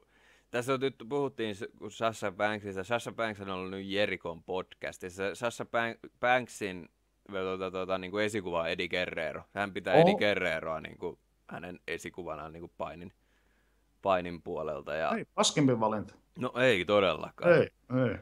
Ja, ja muutenkin niin kuin siis Sasha Banksihan kehu just tämä joku Diva Revolution tai tämä just, että kun siellä on enää neljä, Becky Lynch, Charlotte, Sasha ja Bailey. Joo. Niin, niin se oli sanonut vaan siinä, että kyllä niin kuin niistä neli, niin kolme, mikä vasta hän mieluusti tykkää just painia, niin, niin Baileyä vastaan on kaikista paras paine, koska Bailey osaa se, se, on, niinku, se kemia on niinku aivan uskomaton, kun peilin kanssa paini. No kyllähän se näki tossa. Joo. Et oli, olihan toi ihan erilaista, mitä Sassa ja Charlotte matsit. Että... Oli ne, vaikka nekin oli hyviä. On siis helvetin hyviä kyllä, mutta kyllä tos niinku näki ihan oikeasti sen kemian, että nyt, nyt natsaa, nyt, nyt natsaa. natsaa. Ja, nyt yle, siis ajatelkaa, yleisö on aivan täysillä mukana. Siis tällaista se naisten paini pitääkin olla. Siis niin typerältä kuin se tuntuu sanoa ääneen, mutta välillä ei edes tuntunut, että mä katson tässä naisten matsia. Joo, ei. Siis tää oli niinku ihan matsi muiden joukossa, joka ja aivan siis uskomattoman hyvä. Siis niin kuin jos ei puhuta nyt viimeisiä, viimeisiä muutamaa vuotta, mitä tässä on nyt NXT-osalta ollut, niin naisten matsit on ollut aivan vitullista paskaa aina. Et ne on yleensä aina ollut semmosia, niin kuin, että ne näyttää hyviltä. No tässä ollaan nyt taas puhutaan siitä, että kun päärosterissa on muutama sellainen nimi siellä, joka tätä hommaa pyörittää. Ne kokevat, että kun on hyvän näköinen ja vähän rintavarustusta ja, ja näin, niin se, se, se riittää. riittää. Se riittää. Ja sitähän se on pitkään niin kuin Vince ajatellutkin, että näinhän se on, että se riittää. Niin kylläpä, niin kuin, se on ikävä, että sillä on iso leima aina, kun puhutaan niin naista niin yleensä se idea, mikä ihmiset tulee mieltä, että ne on siellä tissiliiveissä hakkaa toisiaan tyynyillä ja kämmää, kämmää hiptosseja ja, ja ne ei, se on ihan jäätävän näköistä settiä, mutta... Niin ja osa tietysti on vain yksinkertaisesti taskupiljardilla siinä vaiheessa. niin, mutta siis en sitten tiedä, että kuinka paljon tosiaan tuntuu, että aina puhuu samoista asioista, mutta tämä Sara Del Rey, oliko se oikein Joo, nimi? meni. Niin, Sara tota, Del Rey et, kun siis sehän on todella timanttinen, lahjakas, lahjakas painija. Ja sehän ja sit... treenaa nyt, eikö se treenaa? Juu, kyllä se on. Ja silloin kun, mä me varmaan joskus aikaisemminkin puhuttiin ääneen, mutta pitää toistella sanoja, että, että ihmiset petty silloin, kun ne kuuli, että se on palkattu, mutta kuuli, että sitä on palkattu painimaan. Ihmiset että oo, että missattiin nyt todella hyvä painia, mutta ehkä kuitenkin paremmassa roolissa, koska se, oh se, että meillä on yksi hyvä naispainija, se ei pelasta yhtään mitään. Meillä on se yksi hyvä naispainija, mikä kouluttaa muista naisista mm. helvetin hyviä painijoita, niin se on kultaakin kalliimpi asia. Niin, mietitään nyt tuolta NXTistä. Nyt, tällä hetkellä se on neljä, jotka on niin kuin aivan uskomattoman hyviä. Kyllä. Peitsikin, voisi sanoa nyt tässä hetkellä pää, päärosteissa, Peitsikin ei ole niin hyvä kuin nämä neljä ainakin, tai ei. sitten päärosteri, se ei vaan yksinkertaisesti anneta sitä mahdollisuutta. Vielä, vaikka nyt siellä on se Revolution-kuvio käynnissä, niin silti Kyllä. Peitsikin on niinku se, on, mitä se on, se on 23-vuotias Mimmi, se on painunut 10 vuotta. 13-vuotiaana aloitti treenaamaan. Se on ollut mutsissa mahassa silloin, kun se mutsi on paiskuttu kehässä. Näin ainakin siis niinku tuolla Austinin podcastissa selitteli. Joo. Et se, se, on niinku, se on syntynyt tuohon hommaan, että sen isä ja äiti ja, ja veljet ja koko suku on painisukua. Ja silläkin on siis potentiaalia tosi paljon, jos sille vaan annettaisiin se, annettaisi se chanssi. Et ky- kyllä, niinku, kyllä niinku Peitsikin hallitsee nuo hommat täydellisesti. Kyllä. kyllä, se, kyllä se näyttää niinku tosi hyvältä nyt noiden neljän naisen suhteen. Mm. Ja Mut mä sit... veikkaan, että tulee uusia. Uusia tulee niin kyllä. Nyt oli muistaakseni joku promovideo jostain Nia. Joo. Joku, joku, joku Nia se joku oli. Joku Nia se oli, joo, kyllä. Näytti sieltä vähän goottimaiselta. Joo. Mutta niinku, joku Iiva Marini, mä en usko, että siitä tulee ikinä yhtään mitään. Et se oli nyt, se oli pre nyt sehän voitti jonkun naisen. Niin kuin tässä NXT TakeOverin pre Joo. Si- se ei kyllä valitettavasti. Se, se, se, on, kyllä, se on se vähän elä. sellainen, miten se nyt sanoisi. Niin. Kyllä se kovasti yrittää, mutta tota... Niin. Mutta no. tota, no vielä on, vielä on pitkä matka. vielä on todella pitkä matka maaliin. On, ky- kyllä musta tuntuu, että Blue Pantskin pääsi aikaisemmin maaliin kuin Iiva Marie. Mutta joo, siis hemmetin oikea matsi. Oli. Toi. Ja siis se reverse hurrikarrana joo. sieltä kehämpä, siis se oli niinku sellainen, niinku, että se oli niinku täydellinen siihen, se naulas sen ottelun niinku loppuun siitä vielä Bailey mikä on ehkä yksi maailman köm, niin kuin, ehkä, en, en, ehkä sitä finisheriksi, mutta kyllä nyt näköjään Bailey to suplex to, tai Bailey to Belly slammi saadaan finisheriksi ja overiksi, kun sitä niin. vaan tekee. Mutta onhan siinäkin se, että kun se nimi on Bailey to Belly, että siinä on se hauska nimileikkikin. Mm. Vaikka se on ehkä yksi rumimmista Bailey to Bellyistä, mitä mä oon ikinä nähnyt, mutta... Mutta kuvittele old school painia. DDT oli silloin finisseri. Niin, silloin olikin joku vaan joku clothesline ja... Niin, ei siis, se on ihan vaan siitä... Dusty Rhodesilla on vaan ky... se, on ihan, se on ihan vaan siitä kiinni, että oli liike ihan mikä tahansa, mutta jos siitä liikkeessä saadaan over, niin... Se, se riittää. John Cena, se on Fisher, fi, mikä Fireman's Carry? Fisherman's Carry. carry. Fireman's Carry. Maailman ankein liike. Se on yksi, yksi niinku tehokkaimmista finisheristä, mitä bisneksessä on. Niinpä, niinpä. Et tota, vähän kuin hioisi sitä belly peliä vielä, niin ettei saa näyttää siltä, että se vaan ottaa kiinni ja kaatuu. Mutta toisaalta se on sellainen, se on, se on, se on, se on hyvä omintakeinen mauste siinä. No se on totta kyllä. Et siinä on vähän semmoinen beilimäinen. Niin, se on vähän sellainen hakpleksi, voisi sanoa, että halatahan toinen matto. kyllä. Bailey's gonna hug you. Kyllä. Mutta tosiaan Mut... nyt katsojat, niin jos te haluatte nä- naisten matsi, niin kuin josta, joka niin kuin te- teidät saa suu ammolle, tämä on nyt, viimeistään tämä on nyt se ottelu. Kyllä, tämä on kyllä. nyt paras naisten ottelu niin kuin ikinä. On, Yksi vuoden helppo. parhaimmista otteluista tänä vuonna tähän mennessä. Kyllä, se oli. Ja se tunnelataus. Siis kun niin. peili pitelee sitä vyötä käsissään, niin... Uh, uh. Juurikin näin. Oho. Ja se loppuun se Four Horse Women. Joo, kyllä, kyllä. Se oli, se oli sellainen vähän keifapea rikkoa, mutta ei sillä mitään väliä siinä kohtaa. Että... Se, se, oli, se oli aika paljonkin, koska siis kuvitellaan sitä tilannetta, kun meillä on se, silloin se ranne rikki. Ja toi Sasa Banks kun talloo sitä kättä Joo, ja vetää sinne sen, mikä se oli se teräsportaiden väliin. Niin. Ja sitten niinku heti matsin jälkeen niin halataan ollaan niin bestikseen. Siinä se heel ja face asetelma niinku hajoaa. romahti siinä kohtaa. Kyllä, että nyt se oli vaan, nyt, nyt niinku vitut mistään rooleista, että me ollaan oikeasti tehty se, että me ollaan nostettu naisten paini niinku Mm, todellakin. ne on nostanut se korkeammalle, mitä kukaan ikinä milloinkaan missään. Että, että alkaa niinku periaatteessa toivoa, että Lita olisi vasta niinku ollut näinä päivinä. Niin, niinku ja ko- Trissi. Trissikin voisi... Nyt, nyt on niinku sellainen niinku ote tässä naisten painissa, että tätä haluaa nähdä lisää. Ah. Päärosteritkin mä haluaisin nähdä sitä lisää. Kyllähän sekin on, onnistuu siellä, kunhan bellat saadaan pois sieltä. Niin, Bellat, Bellat just ne vois, Brie Bella vois tota, sitä on kiva katella, mutta tota, No sitä on ihan kiva katella, mutta... siis just niinku managerina, valettina, sitä on ihan kiva katella pienissä vaatteissa. Niin. Mutta niinku, stay out of the fucking ring. Antakaa muiden oikeiden naisten hoitaa se painiminen. Niin, niin, niin. Mutta sitäkään ei tiedä, että kuinka helvetin syvällä kurkussa Johnsonan mulkku on tuolla Nikki Bellalla, että, että niinku, kuinka paljon se vaikuttaa sun Johnsonan muija, että hän on siellä Kyllä mesta. mä väitän, että vaikuttaa aika paljon. Mm. Ei, ei, ei, epä, ei,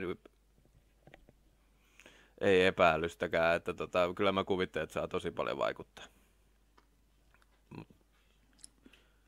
Kyllä se valitettavasti näin taitaa olla, mutta, Mm.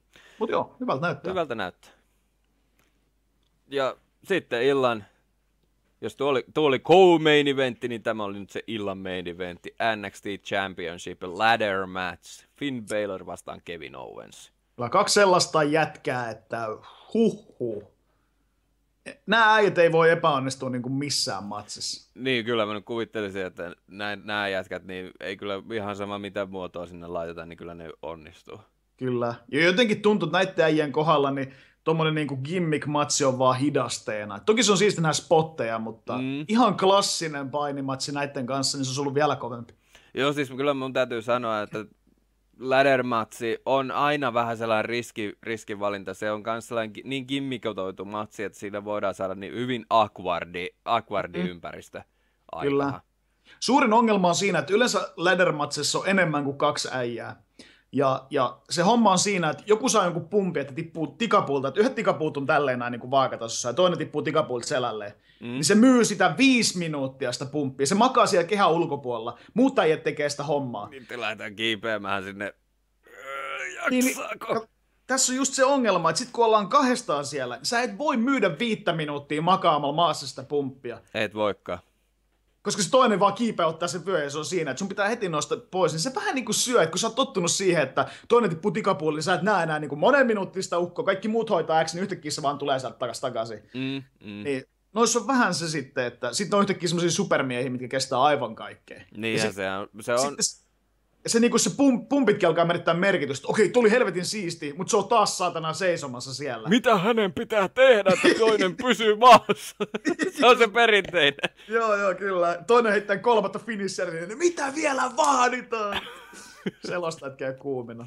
Et vähän jotenkin siis, mä oon aina tykännyt ladder ja kaikista gimmick matchista, missä, missä tulee vähän isompaa pumppia, mutta Kyllä. kyllä nyt mun pakko sanoa, että se vähän toimii ehkä hidasteena tuohon matsiin toi. Joo.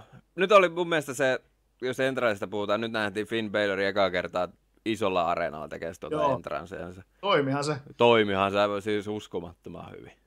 Ja vittu se oli hienosti tehty, kun siellä oli niinku ne neljä doppelgängeria. Se Joo, kävi mä- tässä alas, tuolta se tuli ylös ja täältä se tuli ylös. Ja... Sitten viimeisenä Kyllä, huhhuh. olihan se aivan mahtava. Oli, oli, oli. Se, siinä on jotain, kun se mies ryömii siellä rampilla, niin savukone tuuttaa savua, niin siinä on jotain. Ja se biisi siis, se on niin 5 kautta vitonen. Oh, siis jos, siis mä vihaan tällä hetkellä VVtä, niin kuin se kuka näitä uusia biisejä tekee, että niistä on yli puolet on roskaa. Niin on. Mutta Teki- tää, tää on nappivalinta. Tekeekö se yksi, yksi vielä se Johnstonin kanssa. Johnston, niin. Vielä se siis mä, mä en tiedä mikä tää on tää, s- tää on se CSOF vähän nyt. Aa, niin joo, joo. On nyt tehnyt tosi paljon nyt Niin näitä. onkin, joo. NXTn painolla on aika monella niin kuin sen tekemä Joo. biisi. Niin Ja ylipäätänsä nyt mitä on uusia biisejä tullut, niin suurin osa on ollut ni, ni, niiden tekemiä. Joo. Ja tota, Joo, kyllä. Et siinä on vähän semmoinen nykyajan poppimaisuus, tai semmoinen, mikä on nyt mainstreamia. Siis mulle niin... tulee mieleen noista biiseistä vähän sellainen TNA-musiikki, koska on tottunut siihen, että näissä entisissä VVS on se time to play the game, ja mm-hmm. siis siellä on ollut sitä mu- sellainen Jol... tietynlainen, niin kuin, että tohon on hyvä päästä. Nyt saakeli kuin Cesar. Okei. Okay. Kyllä, näin se on. Niin. Mutta joo, Finn Balor, ihan helvetin hyvä biisi. Ja, ja jos Kevin Owensille sopii omansa myöskin. Joo, niin sopii kyllä, kyllä. Et... Mutta tota, täytyy sanoa, että tämä ottelu pikkuusen kärsi tuosta, että edellinen ottelu oli niin saakeli mm-hmm. hyvä. Kyllä, jos on ollut toisinpäin, niin... Olisi voinut olla sit, niin parempi ehkä järjestyksenä sinänsä, mutta olihan tämäkin silti erittäin hyvä ottelu. Oli, oli, oli, oli kyllä. Eihän, et sä voi paskaottelua odottaa tommosilta äijiltä. No ei todellakaan. Ei missään nimessä, että kyllä, kyllä tossa, tossa oli niin hienoja spottejakin, että... Oli, siis tässä oli tosi monta hyvää spottia, mikä niinku... Siis sanotaanko näin, että kun puhutaan nykyään PG-eran VVstä. Eihän silloin mm. myöskin nämä, nykyään, nykypäivänä ehkä niin paljon uskalleta spottaillakaan, koska me pelätään, että menee hajalle. Mm. Silloin aikoinaan Rutles Aggression ja Attitude Eralla, silloin tuli enemmän niitä, koska, koska haluttiin, että nyt, saa, nyt pitää olla niin näyttävää ja tällä lailla, niin mutta ja. silloin ehkä enemmän myöskin tapahtui niitä loukkaantumisia. Tapahtui kyllä, ja niillä oli silloin jotain, niin kuin, niillä oli saavutettava, että meidän piti voittaa VCV. Kyllä ei nyt niille ole mikään pakottava tarve vetää niitä äijiä niin kuin joka, joka hemmetiin viikoittaisessa johonkin hardcore-matsiin. Ei niin, ja ottamaan turpahan niin, että seuraavana päivänä ollaan... Siis mä muistan kyllä, niin kuin, mikä oli aivan loistavaa, että se, sitten seuraavassa show oltiinkin, niin kuin, että pää oli teipattuna. Joo, kyllä. Mutta täytyy myöntää, että ei mulla kyllä periaatteessa ole ikävä niitä, että joka helvetin tapahtumassa jotain isompaa pumppia, tai vähintään joku gimmick-matsi. No ei mullakaan. Kyllähän se, se, oli, sitä, se oli siihen aikahan sopivaa. Kyllä. Mutta kun sinne mahtui myös niin paljon sitä ryönää sinne sekaan, jos oikein rupeaa miettimään, niin välillähän sekin oli sellaista, että huh hei. Ja... Juu, juu. Ja siis niin kuin, minähän olin pentuna siis silloin nuorempana poikana, niin niin kuin, ne oli tylsiä joku perus wrestling matchi, että se piti aina olla joku Hell in Cell tai TLC tai pöytää paskaksi ja hardcore-ottelu ja mä katsoin kaikki saatana Ivan Mitsautin Tournament of Deathit, vai mitä ne ikinä oli. Ei kun se taas oh, katsonut sitä sellaista. Mä kat- sitä niinku roskintaa roskaa, siis niinku deathmatcheja ja nykyään siis, mä sain semmoisen yliannostuksen, että en mä halua nykyään nähdä semmoista. Ja nykyään mä nautin enemmän semmoista one-on-one, missä vedetään viimeiseen pisaraan asti. Kyllä. Ihan perus, perusottelu. Ja se, se, tämä onkin siinä mielessä nyt mun mielestä hyvä, että nyt kun on perusjuttuja, sitten kun se joskus se gimmick tulo, niin se on hyvä juttu. Juuri näin. Mutta, Juuri. Mutta sitten VV on tehnyt sen varsinkin isolla omalla puolellaan se, sitten sen perseen, että ne on, ne on gimmick pay per mm. Sä tiedät, koska tulee Hell sä tiedät, koska tulee TLC-matsi, niin... Niin, niin se ei taas. syö, joo. Se syö viilistä. Elimination Chamber on ainut poikkeus. Se on hyvä, että se on niinku omalla slotillaan, mutta niinku Helena Sello olisi mukava, että se niinku yhtäkkiä räjäyttäisi. Se tuleekin nyt. Hell in a cell. Ja siinä on... oh my god! OMG Factorit saman tien paukkuu Kyllä. By god! By god! Jim Ross. Mountain Dews everywhere, niin kuin sun twiitti, herra Jumala. siis se oli, nyt taas mennään vähän, vähän SummerSlamiin, mutta Rusevi, kun kävi makaamassa siinä pöydällä, niin Jerry Lorella oli tämä Mountain Dew-pullo auki, ja se kaatu, ja se oli niinku pötkötti vaan makaamana tälleen. Mm. Ja se todennäköisesti tyhjeni hyvin pitkälti sinne jalkoihin. Mutta aina ollut, kun seuraava segmentti tuli, niin se oli taas niin pöytä laitettu kuntoon. Jokaisella oli yhtä paljon Mountain Dewta niissä pulloissa. Siellä on heti uusi, uusi täyspullo laitettu Cherillekin. Se, siellä on kato kylmiä. Se, äh! Joo, sieltä tulee. Ja mua ärsyttää se, että niin kuin jos, jos ihmisellä on juomaa naamassa, niin vittu juokaa sitä, niin se on ainahan piripinta asti täynnä. Ei muuta kuin hei, skool. Skool. Skool. Skool, skool. Juokaa sitä juomaa. Mua ärsyttää, että ne pullot on aina ihan täynnä siinä. Tietenkin ne on niin kuin mainoskikka, mutta... Niin, niin, niin sitähän se on. Niin. Mutta Joo. tosiaan erittäin hyvä main eventti, joka ehkä kärsi siitä, että edellinen ottelu oli aivan huikea, mutta kyllähän tämäkin, tämä tapahtuma niin aivan hienon sinetin anto tälle matsille. Kyllä. Tietysti se oli ihan hauska, kun katsoi sitä lopetusta, kun Kevin Owens makaamaan Finn, Finn Balor. No vähän kun kurkottaisi, niin ehkä mä saisin ton vyön tosta, mutta ei, kyllä mä pomppaan täältä alas. Mä just, mä just mietin sitä, kun se seisoi ehkä kolmannella, ja sitten se niinku sormenpäät hipoi sitä vyötä. Sitten kun se kiipesi vähän korkeammalle, että se hyppää sen coup de grand sieltä, mm. Niin silloin se olisi yletty niin kuin näin vaan ottaa sen vyön. Mutta olihan se murhaava. Se on aina pelottava liike, kun jotenkin se näyttää siltä, että nyt menee Joo, siis koko maha just, että jos tuon tekee väärin, niin sähän murskaat sen toisen niin.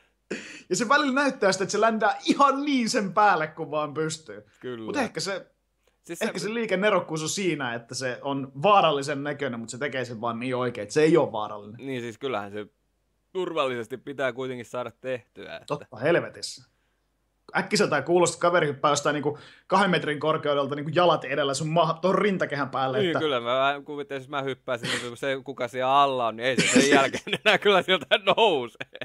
Siis vaikka niin kuin Finn Balor on kuinka ammattilainen, niin mun pitäisi vähän aikaa miettiä, että uskallanko mä ottaa vastaan sen liikkeen. Niin. Et kyllä niin kuin Kevin Owens on vitun kova äijä. Oh. Mutta onhan se, onhan se legendaarinen, että monella on just se, niin kuin, tulee uusi äijä vv niin sitä ajattelee, että se on niin, kuin niin vihreän vihreä kuin vaan voi olla, eikä niin kuin oikein hiffata sitä, että se on painunut Indeissä niin kuin kymmenen vuotta ja Kyllä. yli kymmenen vuotta. Että se on niin kuin legenda periaatteessa. Niinpä, niinpä. Et se, on, se tietää tuon homman. Se ei ole ehkä noin isolla areenalla painenut, ehkä siis ei ole. Ei ole, mutta... mutta...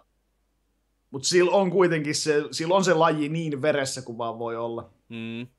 Onhan se kyllä. On se. Siis ja no, nyt kun tässä nyt päästään tähän loppuun, eli Finn Balor säilytti mestaruutensa. Oikea ratkaisu. Oikea, oikea ratkaisu. Ja nyt Kevin Owens, täytyy varmaan sanoa, että enää me emme häntä NXTissä näe muuta kuin vaan aina, jos hän haluaa siellä käydä pa- pala- palaamassa. Mutta kyllä Koska... nyt, nyt, se on, nyt se on virallisesti irti päärosterin. Kyllä.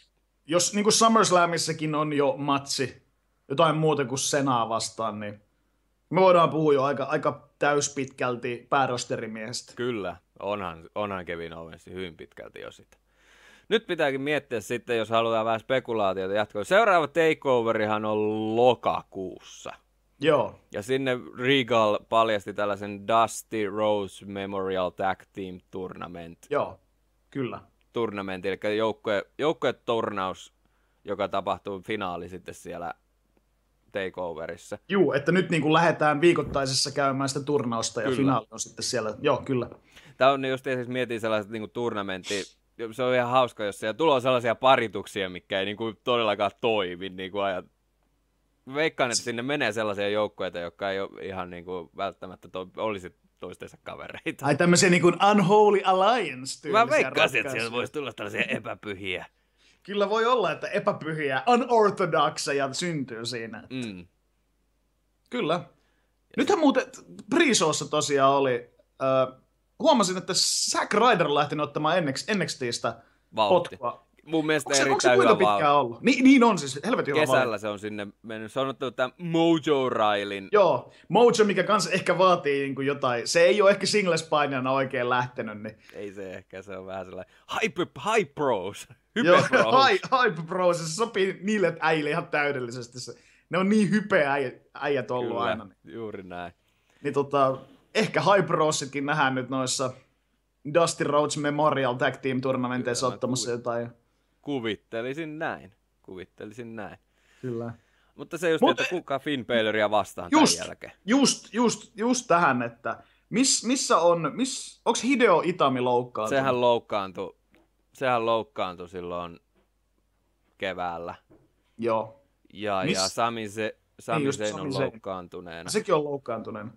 Mä veikkaisin, että Axelilta Samoan Joe tai Baron Corbin voisi tulla haaste. Mm. Ehkä se on Samoan Joe ja Finn Balor. Se voi olla kyllä hyvin mahdollista, koska se kuitenkin Corbinin voitti tuossa noin. Niin. Mm. Mikä olisi mukaan seuraava, seuraava niin kuin etappi niin. Korbinin jälkeen muuta kuin itse mestaruus. No veikkaisin jotenkin näin, tai sitten on joku monen miehen ottelu pitkästä aikaa. Niin, totta. Mutta tuossa nyt varmaan ne suurimmat vaihtoehdot tällä hetkellä on asia. Kyllä. Ja hyvä, hyvä silleen, kun ollaan aina puhuttu, että kuinka niin kuin NXT on iso rosteri, mutta sieltä on nyt niin paljon ka, niinku It- Itamin ja, ja tota, tota, Sami Zainin poissaolo, se vaikuttaa aika paljon. Kyllä se vaikuttaa sit- paljon. Neville on lähtenyt päärosteriin ja Kevin Owens on nyt todennäköisesti lähtenyt päärosteriin. Sieltä on napsittu niin paljon äijiä. Toki siellä on paljon äijiä, mutta ei välttämättä ole vielä niinku pushattu ihan sinne vyöhön. Niin, nyt siis tulee uusia, uusia kasvoja. Siis sehän tämä NXT hienous on, että se, on pysyy tuoreena koko ajan. Nyt, nyt, Mm. nyt taas tulee uusi katraus sitten Apollo Crewsia ja tai. Dillingeria ja mitä kaikkea siellä on. Ja sitten se on se Tyler Breeze, joka ei varmaan pääse ikinä sieltä eteenpäin, mutta se, on se, se, se pitää sitä douchebag-roolia se aina siellä. että- Niin. Mutta se, sehän siinä just on. Sitten taas niinku päärosteri oikeastaan, se on valmis kaura, että sitten kun siellä ollaan, niin jos et sä siellä ala saamaan sitä omaa saumaa, niin sä oot oikeastaan siellä. Mutta taas NXTssä ne hyvät jätkät nousee pois, niin sulla on taas uusi chanssi päästä niinku seuraavaksi isoksi äijäksi. Niin, ja se, Sulla on aina se chanssi. Niin Kyllä. Ja sitten mä tykkään tästä just niin kuin esimerkiksi silloin aikoina se oli Cesaro ja sitten oli, kun tässä oli Curtis Axelia oli ja sitten nyt Zack Ryder, niin sitten mä just niin jotenkin toivoisin tuolta päärosta, jota ei käytetä ollenkaan. Joku Niin. Jack Swackeri tai joku tällainen voisi sinne Mm. mennä justiin pushaamaan näitä jätkiä Ehdottomasti, auttamaan. ehdottomasti kyllä.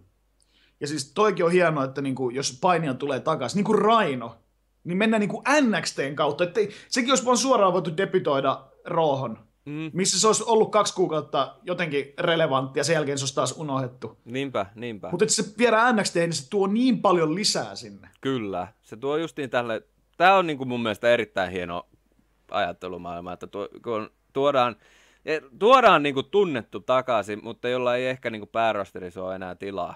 Niin. Niin Ja siis sitten tuo tähän niin auttamahan kavereita. Ja se, sekin vielä siinä, että NXT on niin kova maine, että tämmöiset niinku Rainotkin, niin ne varmaan haluaa jopa päästä sinne NXThen painimaan. No kyllä, mä Kuvit, kuvittelen. kuvittele, kuvittele tilannetta, että VVS on vaan niinku Rooti SmackDown ja nää. Rhino sanoo, että hei, että olisiko jotain juttua, niin joo, sä voisit mennä tuonne Ohio Valley Wrestlingiin. Lähtisikö se vittu ikinä sinne? Ei. Se olisi niinku, you can't see me. Joo. Nyt, kun- nyt kun meillä on NXT, mikä on niinku todella maailman su- suuressa suosiossa, niin nehän Mm. varmaan fiiliksi pääset tämmöiseen pienempään ja ytimekkäämpään. Kyllä. Missä ollaan niinku tosi lähellä faneja. niinpä, niinpä. Kyllä, tää on hieno paikka, kannattaa tsekata. 999 ja eka kuukausi näyttää olevan nykyään ilmainen, Ilmanen. ilmainen tuolla VVS. Tuntuu vähän siltä, että nyt oli oikeastaan koko vuoden ajan eka kuuk- tai niin kuin se kuukausi on ollut ilman Joo. uusia käyttäjä. Kai tämä menee siihen, että eka kuukausi on ilmainen. Mikään ei vituta niin paljon maksavana asiakkaana kuin joka helvetin ohjelmassa nähdä mainostusta siitä, että kuinka VVE Network on ilmainen ensimmäinen kuukauden ajan.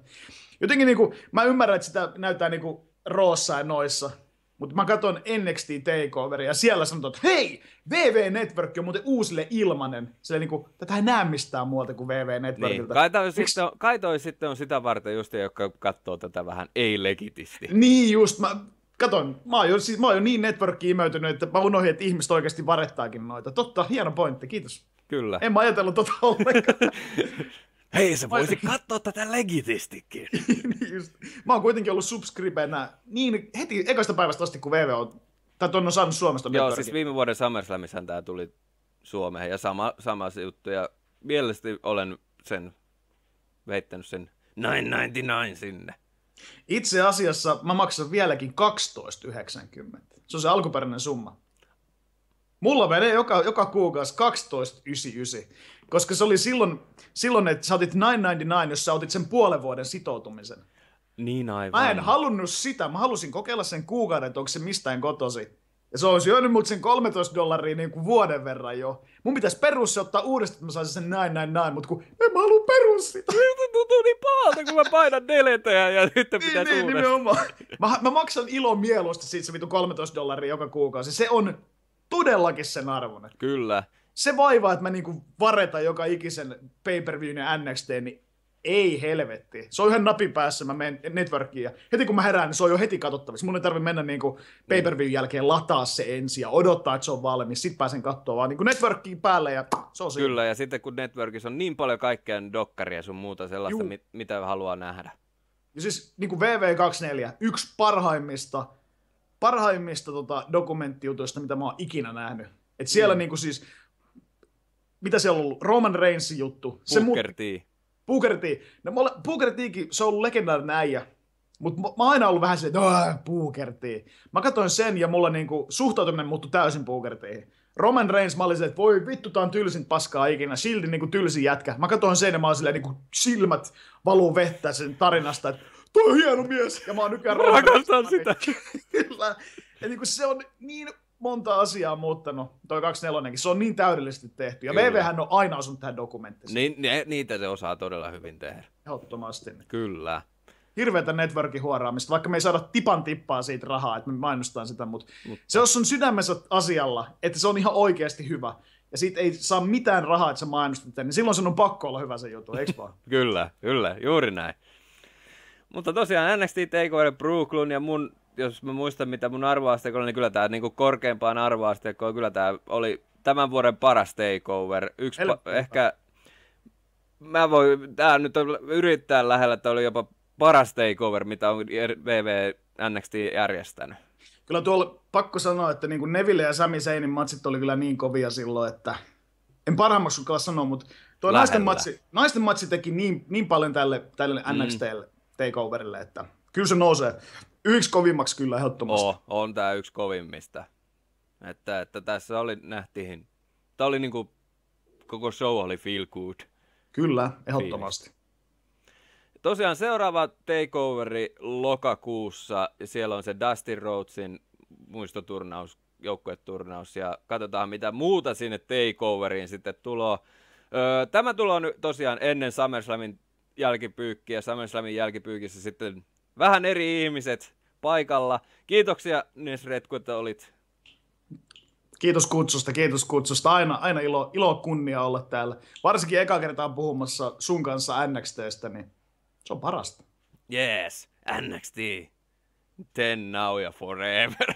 Per, NXT Takeover Brooklyn oli perfect ten! Se oli ten! Ten! ten. Kyllä. Tosiaan.